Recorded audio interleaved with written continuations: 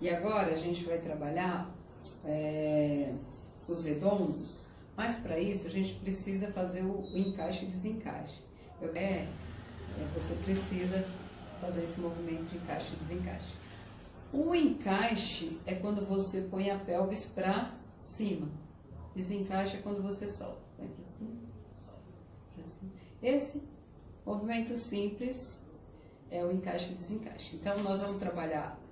É, e a gente faz esse movimento quando a gente vai fazer o redondinho. Então, na hora que você faz lado, frente, lado, trás, lado, frente, lado, trás, você automaticamente, ó, quando passa pela frente, quando passa trás, por trás você encaixa, desencaixa, encaixa, desencaixa, ó, lado, desencaixa, lado, encaixa, lado, lado, frente, lado, trás, lado, frente, lado. Nós vamos fazer encaixada, né?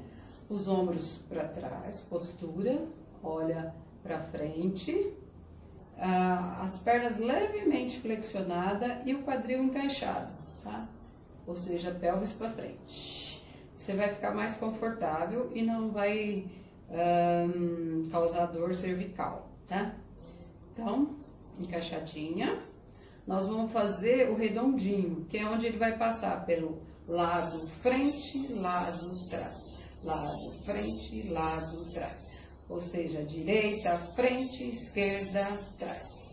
Ó, nessa transição, no frente e o trás, né? Desencaixe, encaixe, desencaixe, encaixe. Tá? Então, o redondinho, a gente só vai unir os pontos, ó. Passei por um lado, pela frente, pro outro lado e atrás. Por lado, frente, lado, trás. Ele é bem pequenininho, ó. Né? Eu vou usar ele é, compondo outro movimento.